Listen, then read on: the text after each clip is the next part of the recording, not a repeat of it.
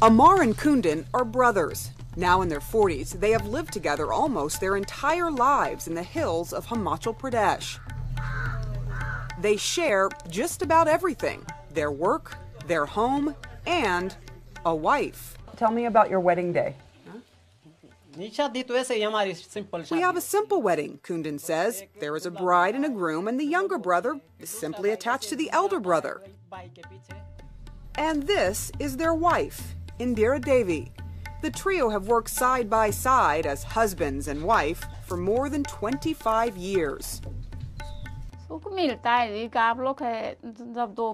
It's been going on for ages. My sister in law has two husbands. My mother in law also has two husbands, she says.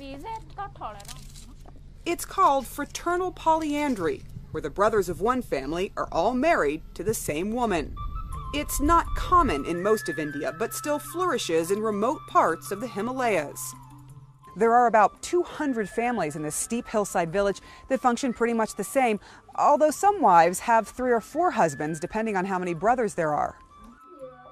Typically, the marriages are arranged. What about love? Do you love both of these husbands equally, or was this just for tradition? I like both of them. I look at them the same. When I am troubled, I tell them to marry someone else.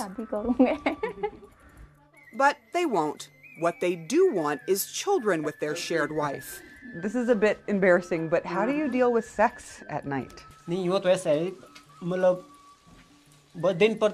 That we have to work out. We make shifts, change shifts, and sleep on alternate days, or else it won't work. Is it difficult to have to share a wife between the two of you? To run the families, we have to do this, overcome the hurdles, and we have to control our hearts from feeling too much also. But feelings grow, and so did their family. They have three adult children now, who all live and work together in the same house. Do you know which child belongs to which biological father? We tell the kids that both fathers are the same. The family doesn't know and doesn't care. The daily grind takes all their time and energy.